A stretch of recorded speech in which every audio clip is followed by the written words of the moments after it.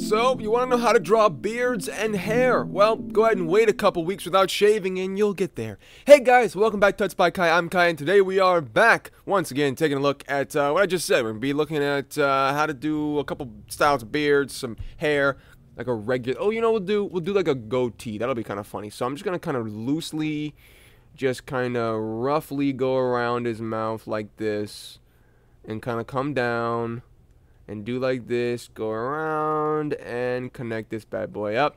And then we're to, of course, make the uh, the top as well. So this is to be kind of more of a rough goatee looking style. So I'm, I'm just kind of shaking my hand a little purposely while I'm going.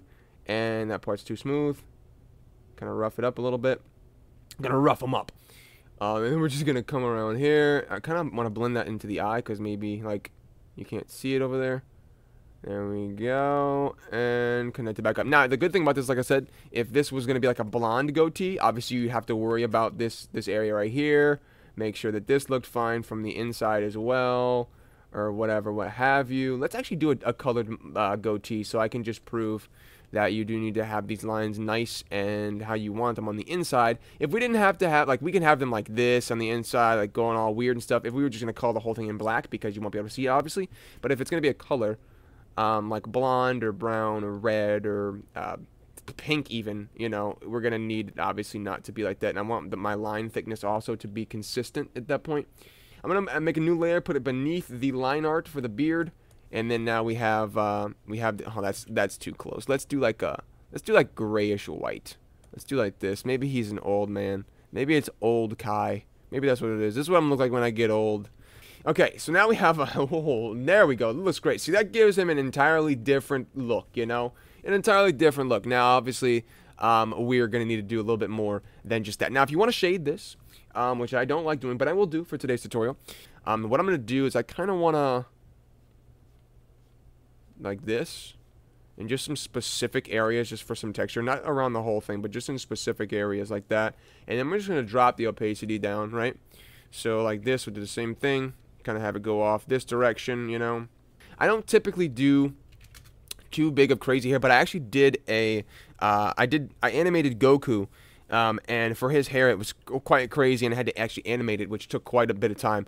But what I did for that was kind of like I just kind of, kind of went up, and I just looked at pictures of Goku, and you could see his hair kind of just goes in every uh, direction, and it kind of has this really weird shape to it, like, uh, like this. So I kind of just go off of there and just you know, connect these back up after the fact. And if I want to be sharper, I'll just make it sharper like that and just erase some pieces.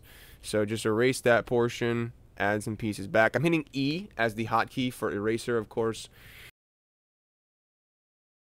You see how I'm just kind of getting the basic idea down and then going back through and then making it look um, perfect or, or how I want it, you know, and cleaning it up after the fact because I want to get it down first so I know the shape of what I'm doing and it kind of guides me to where I'm supposed to be um, cleaning. Because if, if you don't know what you're supposed to be cleaning up to get it to where you want it to, I mean, you, you don't have anything where to start from.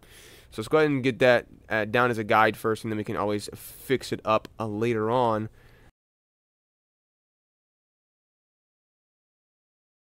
All right, Okay, so you can see how we can get this uh, how I want it. Now to connect it to his head, what I like doing is I like trying to find the center of where the hair is. So I don't think this guy has his hair parted any specific direction, so I'm going to go ahead and put that in the center of his hair.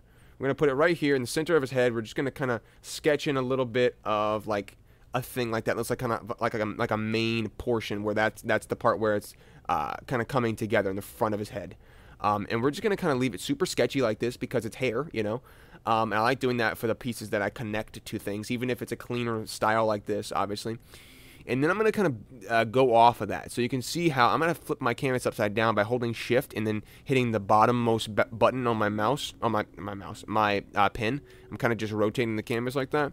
You can also rotate it, I believe, or maybe you can only unrotate it up, up here somewhere. Well, five is the unrotate, but okay, that's what it is. One, two, three, was it mm, three? No, uh, four, five, six, and yeah. So four is to rotate it this way.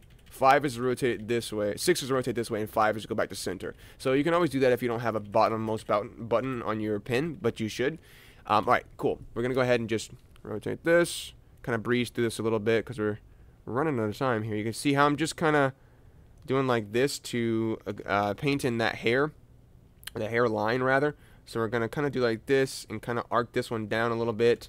And now you can see we're running out of space here to kind of go across. So what I'm going to do is I'm going to kind of start arcing it downwards like this. And kind of just going down until I get to the bottom of his hair where I want it to be, which is right about there. Now this one doesn't, his head's kind of angled, so I'm going to kind of go like that. And we're going to call that one and we're going to give them the same color that we had before. So P to eye drop, and then B to go back to uh, the color. So now you can see we can't actually uh, fill this in with the paint bucket because it's, you know, not fully together because I chose to do the sketchy line art style. All the way across the edges of the hairline, and then once we fill that in, we can of course go ahead and fill the rest in manually. Well, yeah, automatically, sorry. And now we can go ahead and paint bucket this. All right, cool. So let's just grab, grab that paint bucket and fill that. Oh, we have to, let me hide that real quick.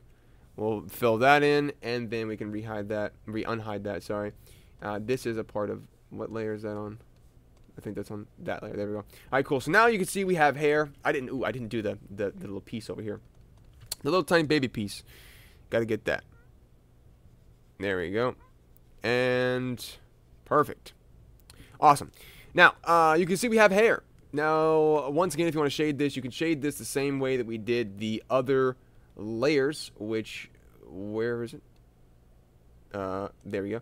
Uh, you can do it the other way that we did the layers with the hair like that, or you can do it uh, traditionally and kind of go ahead and get in there like this. Just grab a darker color, something about like that, maybe add a little bit of bluish tint to it, and then we'll just go ahead and do something like this.